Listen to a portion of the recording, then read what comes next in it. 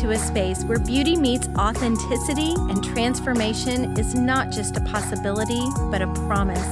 I'm absolutely thrilled to introduce you to someone truly special, Dr. Rukmini Vinaya Rednam, the compassionate force behind the countless remarkable transformations in the vibrant city of Houston, Texas.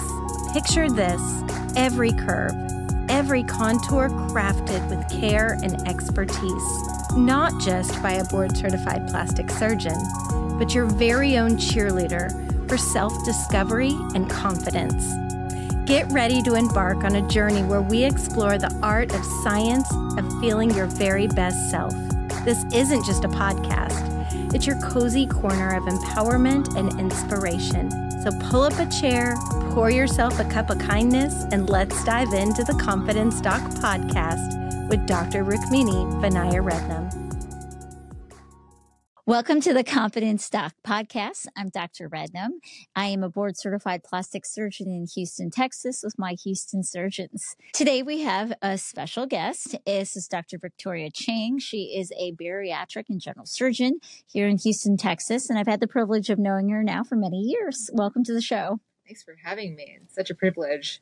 So, Dr. Chang, tell us a little bit about how you got into bariatric surgery.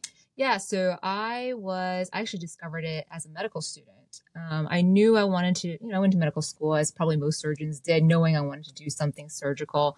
And I had reached out to my mentor saying, Can you hook me up with somebody who does surgical research? And that person happened to be a bariatric surgeon. And that's how I found out about bariatric surgery. And when I saw the kind of work that he was doing and that this was a life changing, life altering surgery, um, it just, I fell in love with it. It's such a high yield surgery, it addresses so many different problems, um, literally, literally transforms people's lives. And there's just no other surgery like it. It is absolutely life changing. Mm-hmm. I guess, um, how do you become a bariatric surgeon? Because I think that some people don't fully understand the amount of training that goes into it. Yeah. So uh, for bariatrics, you have to go through five years of general surgery training. Uh, well, four years of medical school, then five years of general surgery training, and then it's one year of a minimally invasive surgery slash bariatrics fellowship. Um, are all people who call themselves bariatric surgeons, do they all go through this training, or are there people that do bariatric surgery without that training? Yeah, so there's both. So bariatrics fellowship was a is a relatively new fellowship. Uh, when people started doing bariatric surgery back in the 60s, um, it really, really, really was general surgeons doing bariatric surgery, doing weight loss surgery. Um, and then eventually the fellowship came out. So a lot of those surgeons who are kind of grandfathered into bariatrics are still out there practicing and they, you know, they just, they continue practicing. Do they do good work through experience, you know, mm-hmm. just because they've just done so many for so many years. Um, and, but nowadays of a, probably in a younger generation, maybe my age, it's really difficult to come out and call yourself a bariatric surgeon unless you've done a fellowship. Um, so you either, if you're going to be a bariatric surgeon, you either earned it through years of operating and experience um, or by doing a fellowship. I think that that's the case with a lot of things now. I think, um, especially in surgical specialties, we are getting more and more narrow in our scope, um, and then people are becoming like super specialists in one area. Yeah. So I think that that's a good thing because yeah. we're really getting to focus on all around care. Yeah. So, I'm oh, sorry. I was going to say that's definitely the case because uh, uh, like I said, nowadays it's really hard for a younger surgeon to come out without the training and say, I'm a bariatric surgeon, just because there are so many fellowship programs now who that where you focus on doing bariatrics because it's not just a surgery, it's the perioperative care because mm-hmm. the bariatric patient is uh, struggling with a lot of different things in life, you know, and from a psychiatric standpoint to a lifestyle standpoint. And so these are all the facets of bariatric surgery that we kind of learn about in fellowship training that you don't really get in just regular general surgery training. If someone, let's, let's say, listening to us today is somebody who's like, how do I know if this might be something right for me? Like, how does that process even start? If you think maybe, maybe I am somebody that might need bariatric surgery. Well, that's a great question. I feel like a lot of my patients who start thinking about weight loss surgery obviously I've been thinking about weight and weight loss for a long time. Um, but most of them have known someone who got weight loss surgery, mm-hmm. and that's kind of what piques their interest. A lot of people don't really know uh, whether or not they're good candidates though. I feel like a lot of people think about weight loss surgery, but don't understand who, who makes a good candidate for weight Mhm. loss surgery. Um, so I got to ask you, obviously now with all these medications flooding the market, right? Uh, different weight loss medications from uh, semaglutide, tirzepatide, Mhm. um, that's just naming a couple. Um, how has this affected your specialty? Yeah, that's a great question. The GLP 1 agonists are such a hot topic right now, um, not only as a society, but definitely in the bariatric surgery world. Mhm. Um, you know, that like I think that there are less people, you know, seeking out surgery nowadays, which I understand. Which I, I understand. You know, there's this great drug. The GLP one agonists are a great uh, treatment option for weight, uh, and so a lot of people are seeking out that option first now before they go down the surgery route, which I think is totally reasonable, uh, because there are good candidates, like candidates who had previously qualified for weight loss surgery, Mhm. who could do very well on the medications, Mhm. but and there's some people who worry about, oh, how is this going to affect our specialty? Is bariatric surgery going away? And Mhm. I, I'm not worried about it because it's not going to go away because there are those patients who actually would benefit more from surgery than the medications. There are also patients who just don't respond to it or Mhm. there's an access issue, whether it's being able to afford it or the supply or whatever. Um, there are various reasons why um, surgery could be a better option for someone. And I think the the hard thing that we're seeing is that because it's become so widespread, it's even if it is someone going that medical management route with it, it's not always being done very well. Right. And so, um, going to somebody who has proper training for that um, is something important. Do you, in your offices, do you guys provide medical management as well, or Mhm. is it surgical only? Yeah, we do. And I think that that's um, part of being a weight loss practice. You kind of have to offer that aspect of it, both the medical and the surgical side of things. Not all, not all bariatric surgeons do that though. Mhm. Um, we are surgeons. We like operating. so, um, you know, not every physician or surgeon will have an interest in that. Um, but it is important to be part of a practice that is interested in that kind of stuff because it's not just about throwing out medications or throwing out surgeries at Mhm. someone. It's about helping patients because but whether it's medications or surgery, it's at the end of the day a tool to help Yeah. patients change their lives, right? And they, that requires a lot of coaching and a lot of guidance. And so having partnering with somebody who cares about using these tools in that aspect that is just a tool and providing ways of coaching about lifestyle eating habits um, activity exercise sleep stress management all the different facets of life that affect um, how we manage our lives and our Mhm. bodies um, it's important to um, ha- be partnered with someone who's interested in that kind of stuff but yeah so our practice offers both just because my philosophy is that we are weight loss doctors Mhm. um, and a lot of the things that we talk about as weight loss surgeons um, do apply to our non-surgical patients too. Like we still talk to all of our bariatric surgery patients about lifestyle, eating habits, stress management, you know, exercise. Yeah. These are all things we talk about anyway with our surgical patients. So um, it's very kind of easy to me to just talk about the same things with the pe- patients who may not qualify or don't want surgery, but it applies to them too. And I think that plastic surgery and bariatric surgery of of all the surgical specialties, I think that we have a very similar mindset with things because we do put a lot of emphasis on mental health and nutrition and it's really it's applicable to all surgery, but I think that our two specialties really do put an extra focus Yes. on that. Yes. So I think that's why we tend to get along really well as, specialties, like, you know, Right. as well. yeah. So, one question I have for you as well is when people are online, they throw out these different surgeries, right? Oh, I had a duodenal switch. Switch. I Mhm. had, um, you know, a gastric bypass. But I don't think that everybody really understands the differences. Yeah. Are you able to kind of explain to our listeners in simple Oh, yeah. terms the, I, di- love- the I know. So let me. This is how I simplified it. I use this analogy with my patients because you know th- we have different surgeries for a reason. Um, and I tell them, okay, your weight loss surgery, your decision on choosing your weight loss surgery or even choose weight loss surgery is kind of like choosing how you're going to get it from point A to point B. Like if there's like a hundred miles in between, okay, you can either choose to walk there or you can choose to drive there. Mhm. And to me, weight loss surgery is like choosing to drive there. Um, whereas, like for someone who struggles with obesity, uh, which is a metabolic syndrome disorder, choosing to do it through just lifestyle changes alone, like diet and exercise, it's doable, but it's like walking there. It's going to take a lot of effort. It's going to take a lot of time. Um, and so, and some people may not even make it. And so, weight loss surgery to me is kind of like driving somewhere. So it's going to be much more efficient, much quicker to get from point A to point B. Now, the different types of surgeries are kind of like, okay, what kind of car you're getting, you're using. so how quick it is, or, you know, things like that. And so I tell my patients that right now, the main option, main, main surgical options for weight loss surgery are the sleeve gastrectomy, the gastric bypass, and the duodenal switch, which you already mentioned. Um, and the sleeve is sort of like a little, like a smaller car, and then the gastric bypass is the bigger car, bigger engine car, and then the duodenal switch is the biggest, fastest car. and so that's kind of um, how I break it down to my patients in simple terms that they can relate to.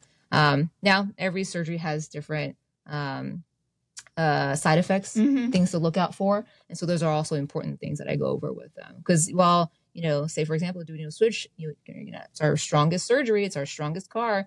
It does come with some things you have to be aware of, right? Um, most of the most, uh, probably all actually, bariatric patients have to be on some sort of supplementation, right? Right. Um, what are common th- supplements that, um, if they've had the surgical route of things, that mm-hmm. they do have to often supplement for yeah. their lives? We recommend that all of our bariatric surgery patients be on a bariatric multivitamin uh, and calcium and vitamin D every day that's pretty much it.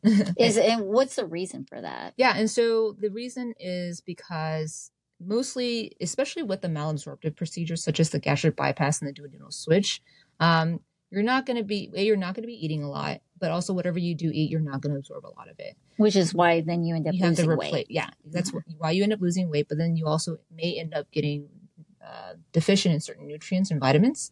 Um, and so the concern is you're not getting enough through food alone. Even our sleeve gastrectomy patients, even though there's no malabsorption really with that surgery, it's primarily restrictive.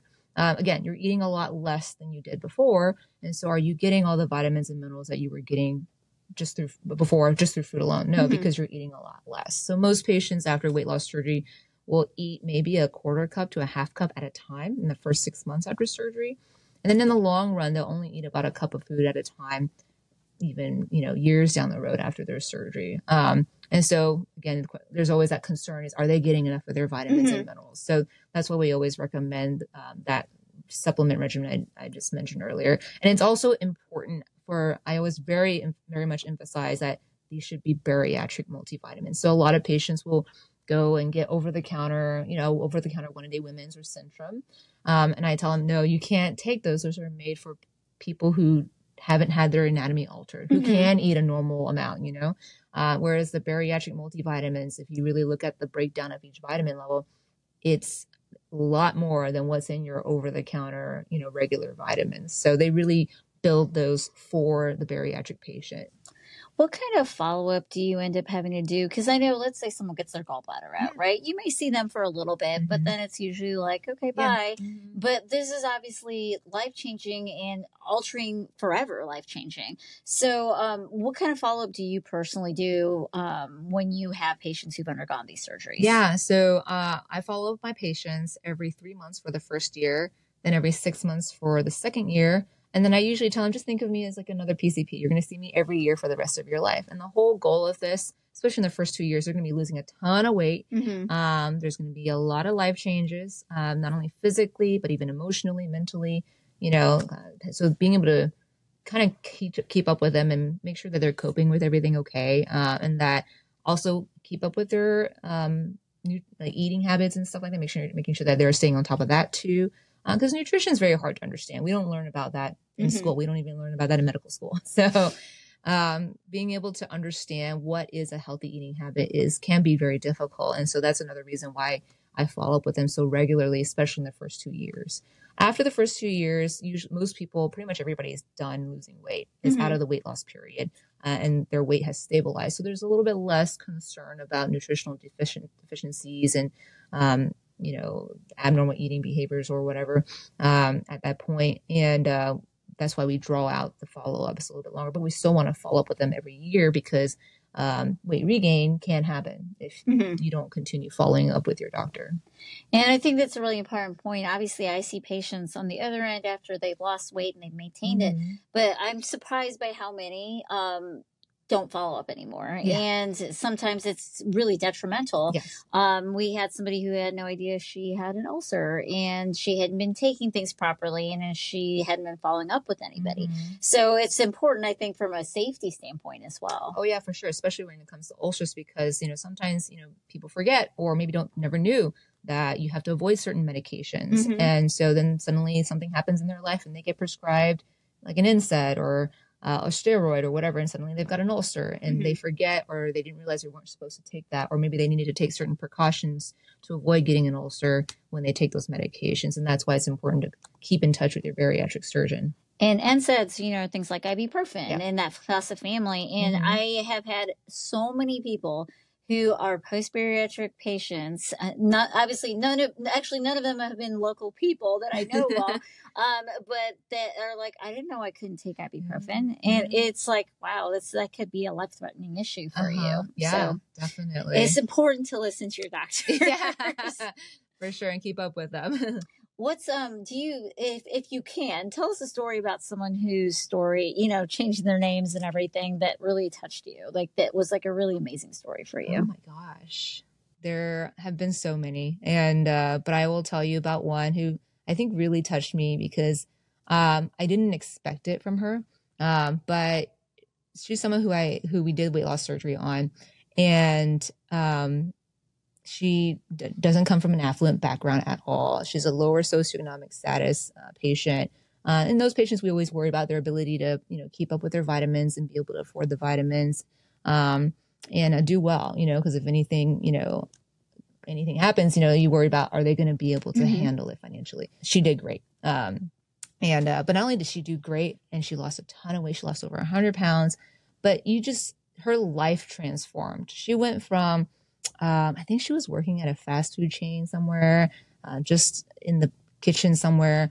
Suddenly she had this drive to go to culinary school and she applied for culinary school she got into culinary school um, and um, and she was going through it and you know was starting her own business and stuff like that fortunately she never followed up with me again so i don't know you know what happened after that but this is part of the transformation that i see a lot in our patients um, that it's not just a you know physical transformation like Mhm. a lot of people think about these surgeries as even i'm sure you, the same thing happens in plastic surgery um, you know, it really transform the transforms them internally too. They suddenly have confidence. Yeah. the being a confidence doc. Um, but you know, that's what we do. We help our patients build confidence, and in by building that confidence, it helps drive them in other places in life. Um, suddenly, have um, are motivated to seek out things uh, in career wise. You know, have goals and career. Not that they didn't have goals before, but that they're more driven to Maybe they feel like they're more obtainable now. more that, you know? whatever it is. Yeah. Yeah.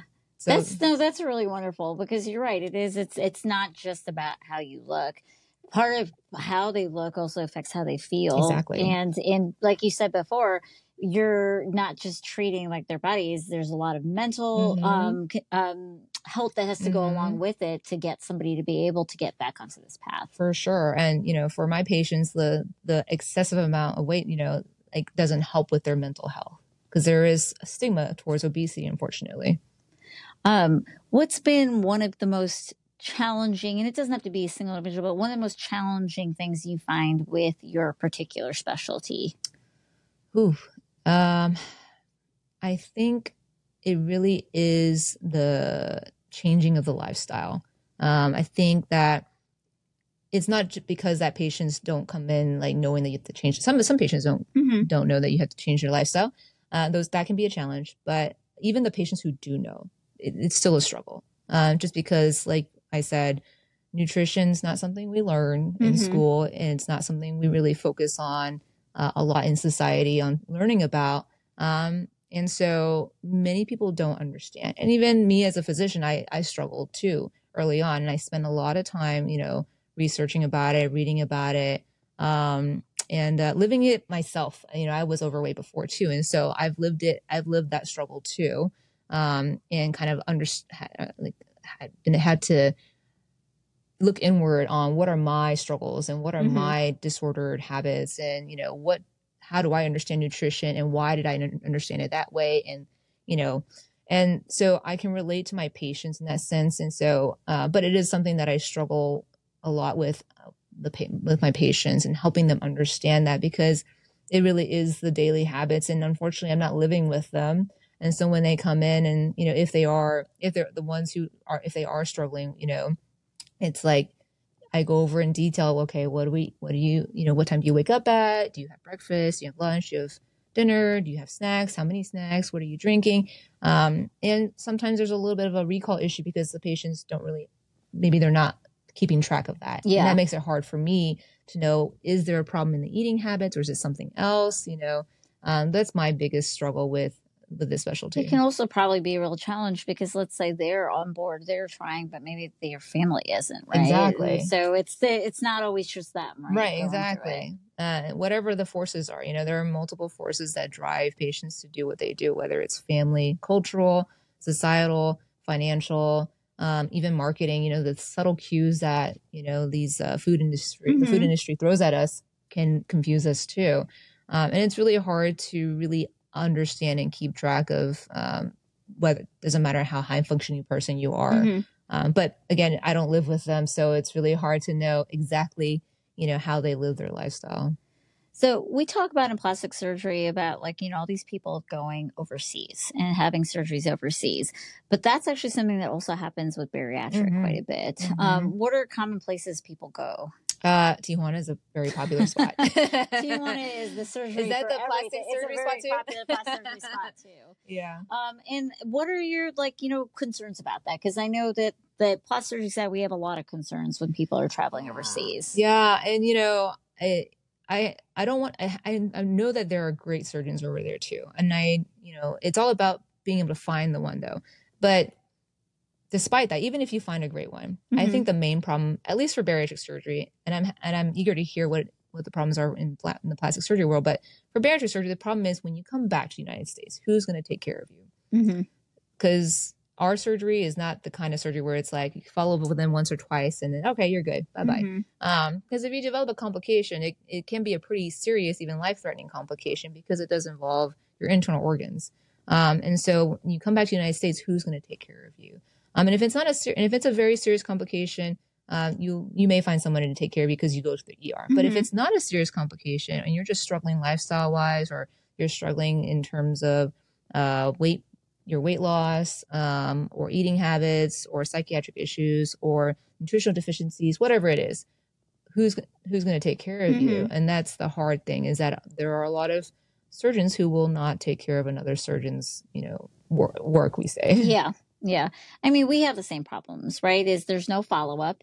And in some cases, it can be life threatening for us as well because of not having proper aftercare, Mhm. getting blood clots, getting Mhm. bad infections. Mhm. Um, so it, it is a situation too where, again, most plastic surgeons don't want to because they didn't start the care, they're not going to finish the care.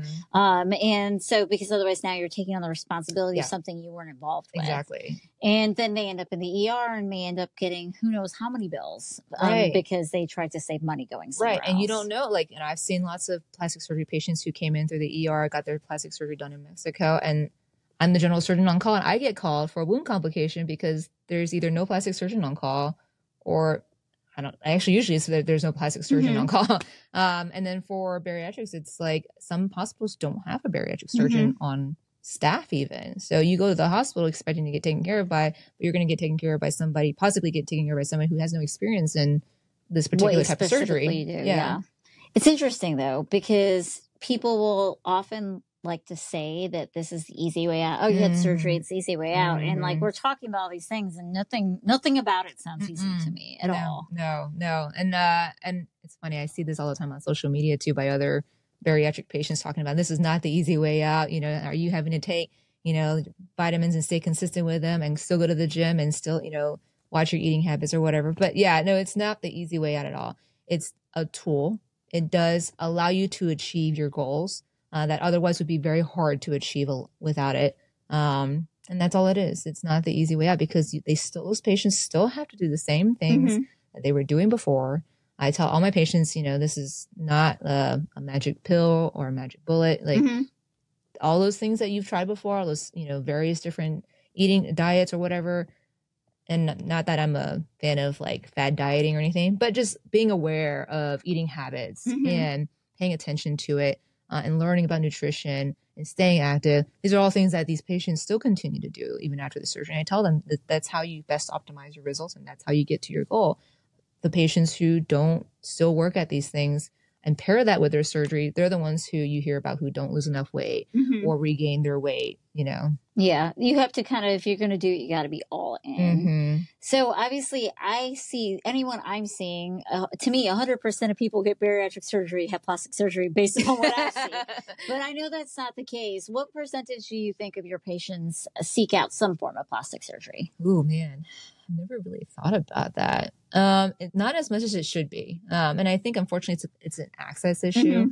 Uh, because insurance companies, you know, you know more Yes, than I do. yeah, Yeah. they are a struggle. Um, they think that this is a cosmetic thing, um, and it doesn't matter how much skin you got on you. You know, if you don't have a major rash and you're on prescription medications, Mhm. right? Like they're not going to pay for it, and so and not everybody can has.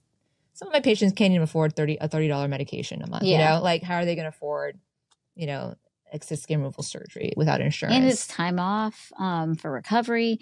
Um, and I think what's hard too is get a lot of people will ask me, you know, send me DMs asking questions about things. And it's at the end of the day, it's not just, it depends on your state. It's not every state's going to have different requirements. And then it depends on who's your provider because there's some plans that are much more bariatric friendly than others. Mhm. Um, and I've had people who I would would have like bet money on that. Of course, you're going to get covered. Look at like all the stuff you're having, and they still won't get oh covered. my gosh. And so it, it is, and I, I will tell you, it is from the time I started practicing to now, which has been almost 10 years, it is absolutely become much harder. It's become much harder to get coverage for procedures. Um, and, uh, you know, it don't, doesn't make sense why, because if Mhm. anything, bariatric surgery and bariatric issues are one of the fastest Mhm. growing areas in medicine. So it would make sense more that this would be something that insurance would be saying is yes, we do need to Mhm. increase the coverage for. Mhm. Yeah, no, we we talk about that all the time at our uh, bariatric surgical societies. It's just that this constant fight with insurance, and it's hard to know what the issue really is, except that maybe there's a little bit of stigma behind it too. Mhm. I mean, which is unfortunate that bar- uh, that for plastic surgery, it's gone the opposite route where it's getting harder and harder to get it covered because bariatric surgery is actually getting easier and easier to get covered. Really? because we're working so hard at it Yeah. but it's like it's surprising to hear that from a plastic surgery standpoint the excess removal surgery is getting harder and harder to cover we need to advocate more for that It's because we're going to get more and more bariatric patients who are going to needing it. And um, you know, and I would tell you that like, you know, everyone thinks that suddenly someone wants a full body makeover. It's not always. Often Mhm. it's really hygiene issues or, Mhm. you know, I just need this because it's causing me pain or or someone who's stalled in their weight loss because they have so much excess Mhm. that they need that to then be able to move on Mhm, and keep mhm. and keep losing weight. right yeah or they feel like they didn't get to their goal but it's but it's like you probably are at your goal but you just have all this excess, Excess skin. from the weight weight from that Um, so it's a, it's I think it is something that needs more advocacy. Mhm. Um, and I think it's something that's going to come up more and more. Yeah. You know, you and I are familiar with peer to peers. yes which we find there's a peer to peer is when an insurance company says, sorry, we're not going to approve this, but you can have a conversation with your peer, and I'm doing this in air quotes, um, to discuss whether or not maybe we'll cover it. Um, I've yet to ever actually talk to a plastic surgeon when I have a peer to peer. It Mhm. may be usually a surgeon, but it's a surgeon who's not in my specialty, which Mhm. makes it really difficult to Mhm. sometimes explain because it's out of their scope. Mhm. Have you ever have you talked to another bariatric surgeon when you've had a peer to peer? it's hit or miss. Um, I feel like definitely it's always been a surgeon. I don't think I've ever talked to someone Mhm. not in a surgical specialty. Um, but yeah, I don't know if I've had enough peer to peer because, like I said, we do so much uh, advocacy, and there Mhm. at least the insurance companies have come around to um, covering bariatric surgery. Not all plans, like you say, like there's certain depends on the plan. And in our practice, we do a we were we put a lot of work up front to screen patients because it's going to be a waste of not only our time but mostly the patient's time if we put them through the entire process because there is a process they have to go see a certain number of dietitians and a psychiatrist and maybe even have to do cardiac clearance or whatever only to be told at the back end oh you don't have coverage so Yeah. we, we put a lot of upfront work in like screening these patients but there's still the patients who um, who maybe have special situations where Mhm. um, the insurance companies are like, wait, you want to do this for what? Like reflux is a common one. right? Yeah. Um, and uh, and so I'll do peer to peers, and sometimes it's a, with a bariatric surgeon, sometimes it's with a, a general surgeon or Mhm. something. Um, they're usually it's not been that unpleasant for me, but I do feel like this is a tactic that the insurance companies use Mhm. just to put one more thing in your way to make it that much more difficult to Yes. Get the patient through through to surgery. And what I try to tell patients and what my team will is let's say somebody calls in is we always are looking for medical records because that's what insurance wants. And so uh, the best way I can put it from a plastic surgery standpoint is that your insurance is more likely to cover it if they see that it's going to cost them more to allow you to continue how you are Mhm. or if it's going to save them money by saying let's do the surgery and then you're it takes away all these chronic issues. Mhm. And so the best way to do that is medical records. And I can tell you, as a physician who is very bad about going to doctors myself, um, when I have issues, it's I understand this stuff. It's like Yeah. I got to take off of work to go this. It's easier to self treat. Right. But if you know seriously want to get things covered, it's you do have to go see somebody and get that Mhm. documented so that that you make a stronger case for things to be approved. Yeah, and you know the again the documentation is just another again one more step to make it harder because like having to call your PCP Mhm. and go through their phone tree and then have them fax the records, you know, like all that is just cumbersome. Sometimes the records could be a stack yeah, that's like hundreds of pages long and it's like well no i just want the record for this Yeah. and but Yeah. on their end they don't want to go through all right, of it exactly. either so and in all those notes, it's like a one-liner thing about their rash or whatever from their ex's skin, and you're just like, where is it in this in this big pile of stuff?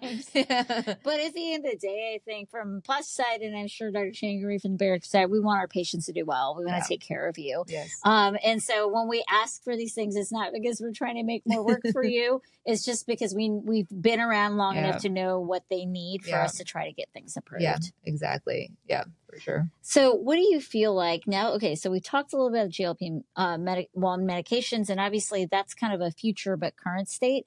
Where do you see the future of bariatrics going? Who? Um, I think that you know there in the past there were a lot of what we would call sleeve factories, Mm-hmm. um, and so I think that those practices are going to come under a lot of pressure with these GLP one agonists because um, depending again like how what weight you're coming in at for a sleeve, um, the lower weight patients may do okay with just a GLP one agonist versus the higher weight ones probably did need a sleeve Mhm. or maybe even needed a bypass or whatever. Um, the sleeve has kind of exploded in the last 10 years or Mhm. so um, in um, prevalence. And there are many reasons for that. I have a lot of patients who come in asking for a sleeve when Mhm. they are not great candidates for a sleeve. Yeah. They're either, uh, their starting weight's either too heavy, their goal is too high, uh, meaning the amount of weight loss they want to lose Uh-huh. is too high uh, for what a sleeve can offer, or they've got really bad reflux or whatever. You know, the, there are various reasons why someone may not be a good candidate for a sleeve. Um, but because it's blown up in popularity, some patients think that that's the best surgery out there. And it's not necessarily so. There are various reasons why the sleeve blew up in popularity, Mhm. and it's because um, patients loved it. It doesn't look as scary. It looks quote unquote less invasive. um, and uh, I always put that in quotes because they're kind of all the same invasiveness because they're all laparoscopically Yeah. done. um, and then uh, surgeons love it because it's very quick, it's easy. Patients lose a lot of weight. You know, they can do five sleeves in a day when they could have only done one or two bypasses or Mhm. something like that. You know, um, so there are various many like forces like that led to the sleeve becoming a very popular um, surgery. I mean, Tijuana is a very popular sleeve factory as well. Are Um, bands being done by anybody no, not anymore? anymore. Again, bands were such are also a big fad uh, that eventually went away because, and I understand why bands became so popular at that time, like 30, 40 years ago. It was either get the band or get the gastric bypass. Yeah, there was no in between. yeah, there, like the sleeve like wasn't really out yet or, or that prevalent yet. And, Mhm. so, and then at that time we were still kind of getting, building our experience with the gastric Mhm. bypass. So the morbidity mortality was much higher back then than it was today, which is what led to the poor reputation of the gastric bypass today and why so many people are against the gastric bypass, even though we've gotten so much better at things like the gastric bypass, bariatric surgery in general. We've just gotten so much better at it. We're doing them like on an outpatient basis even now. Yeah. Um, Um, but anyway, so the sleeve kind of has exploded in popularity, and I think the the practices who only do sleeves will come under will come under a lot of pressure because Mhm. uh, they only have one tool in their belt. Um, and when that tool can be almost like as effective, or, or when there's a when there's when there's a medication that can be Mhm. almost as effective as your one tool, that's a lot of pressure. Yeah. Yeah. Um, and so you're going to lose a lot of patients um, in that sense. So I think bariatrics will change in the sense that there will be um, more people who will have to be experienced with the malabsorptive procedures, such as the Mhm. gastric bypass and duodenal switch, um, just because some of those patients who they were getting uh, coming who were coming in to get the sleeves, uh, a lot of those patients may go away. right. Mhm. Yeah. Um, and we may, we may also see, um, uh, and, and, and we're going to, and bariatric patients are probably going to become bigger. Like we're, I'm seeing a lot more, um, BMI 50, 60, 70 patients, which yeah. probably translates to about 400, 500 pound patients. Um, I'm seeing a lot more of those patients through my offices now. I'm seeing a lot less of the lower BMI, um, patients, um, in my, coming through my office.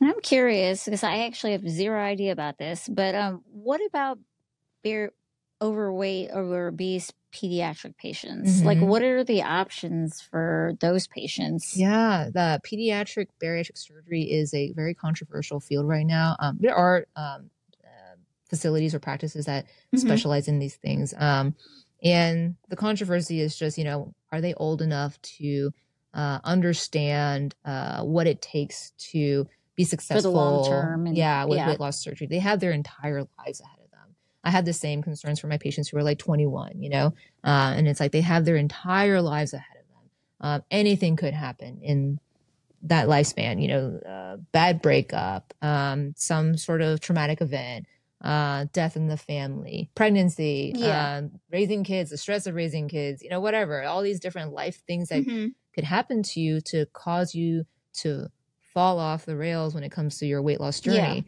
Um, and so what are their, you know, if they've already had surgery, what are their options then? Um, Gotcha. And so that's, that's the question long term wise. Uh, in the immediate post op period, it's just about are they emotionally mature enough, psychologically mature enough to understand the responsibility of you know taking care of yourself and paying attention to what you're eating, uh, working out or staying active on working out on a regular basis. You know all these different things to take care of your body. I mean, like I remember when I was like in my 20s and in college, you know, like we were all I cared about was like getting through school, getting to class, and you know I probably I ate crap And your body weight pizza. yeah, pizza, Free pizza. Wendy's, ramen, you know. yeah. you know, I was not emotionally mature back then, you know. So, you know, these are I think legitimate concerns when it comes to the pediatric patient, but there are some patients who you know are very mature Mhm. and you know have it together and totally understand what it takes and so you just kind of have to treat each patient as an individual Well, hopefully, too, the trend is that we stop thinking about obesity as being somebody's weakness and think about it as the signs of having health issues, Mhm, right? yeah. The mental and physical. Mhm. And that if we approach it from that way, then we can treat it like we treat anything else. Exactly. Yeah. Uh, I often tell patients, the insurance companies, you know, I know we, we're dogging a lot on them this episode, but That's okay. They can handle it. but you know, because it's like you know they want to they they want to criticize the bariatric patients for you know getting like you got this you got this way because of your issues, you know, your behavioral issues or whatever. yeah. Um, but are they going to deny uh, a smoker from getting a cardiac Mhm. bypass because they're still smoking? Uh, or because they smoked before, Yeah. and that's what led to them getting atherosclerotic disease. And no, they're going to pay for it anyway. And So Yeah. there a lot of all of our health problems are, you know, some are somehow related to some lifestyle choices we make, right? Right. Um, but they are at the end of the day medical issues that come up, and we got to take care of the patient. And so obesity is very much that it's a medical problem. It's a problem with the metabolism. Um, how we got there doesn't really matter. I mean, it matters is, is that you know those changes do need to happen later on, just like how someone who Mhm. develops gets a heart attack needs to stop smoking afterwards. Right. Um, but it, we shouldn't punish them and prevent them from getting the care they need just because of past decisions that maybe they were out of their control. Yeah, that's beautifully said. I mean, we don't need to point fingers. Um, let's take care of the person first and then work on the issues sometimes that got there. Yeah, exactly. We Well- don't treat any other patient like that. Well, thank you so much for joining us. That was really informative. I learned some stuff that I didn't know. Yeah, me too. I think that was a really great overview, kind of, of like, you know, what goes into someone approaching weight loss, um, whether it's medical or surgical.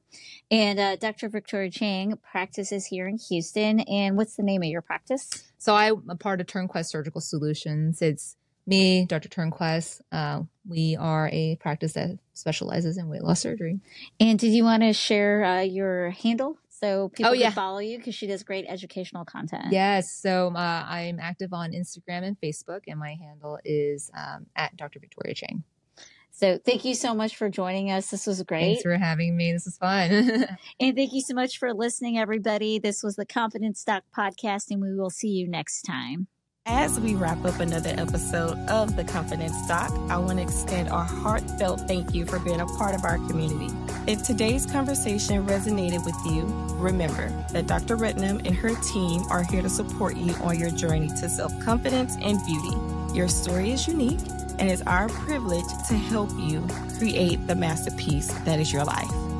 If you'd like to book a consultation with Dr. Rednam, you can visit her webpage at drrukminirednam.com. Fill out a contact form, and one of her coordinators will get with you accordingly.